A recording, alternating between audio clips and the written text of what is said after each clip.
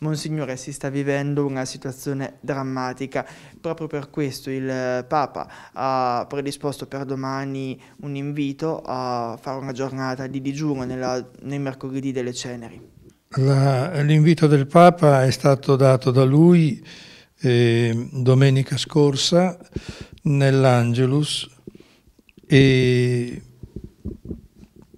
con queste parole in questi giorni siamo stati sconvolti da qualcosa di tragico, la guerra.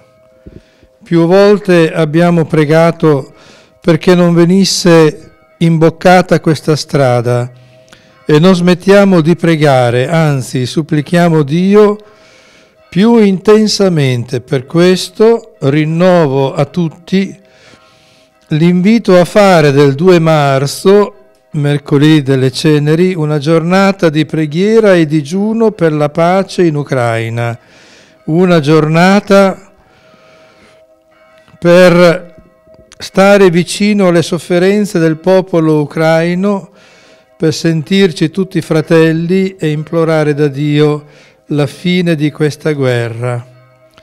Le parole che seguono, soltanto una, poche parole, chi fa la guerra dimentica l'umanità.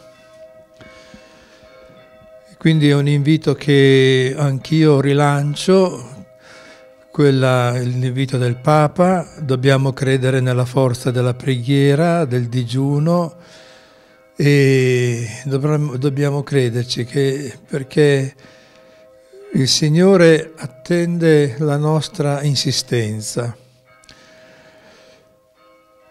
Che è segno di grande volontà, di grande solidarietà, di grande volontà di vicinanza, non una preghiera, una preghierina volante, ma una forte, intensa preghiera che faccia capire al Signore il nostro cuore, il nostro desiderio. Ci troviamo esattamente a due anni dall'inizio della pandemia e adesso siamo di fronte a quest'altra pandemia perché riguarda tutto il mondo e qui siamo anche più, forse più smarriti, più disorientati perché in maniera più precisa si vede che dipende dalla volontà de, degli uomini. E voglio anche dire che venerdì sera alle otto e mezza ci sarà una fiaccolata per la pace organizzata dai giovani, dalla pastorale giovanile, dalla Fucci e dalla pastorale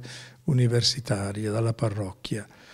Ecco un invito a essere presenti alle otto e mezza a Mercatale per un cammino di pace che arriverà fino a Piazza della Repubblica.